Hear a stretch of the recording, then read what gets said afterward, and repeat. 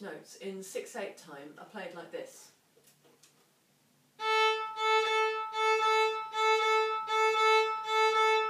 I'm making a small gap between the crotchet and the quaver in this bowing pattern. Um, so if I slow that down um, and make the gap a bit longer, you can see how I'm doing this. So I start around the middle of the bow, uh, play the crotchet, just like you normally would, um, then I stop the bow lightly on the string, um, and then catch the string again to play the quaver. And do the same thing in the opposite direction, a crotchet, stop the bow lightly on the string, catch the string again, and play the quaver. So if you join that up, you get this.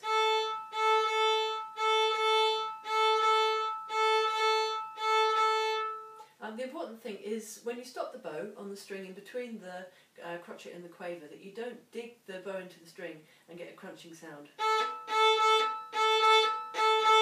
So make sure you just stop the bow lightly on the string.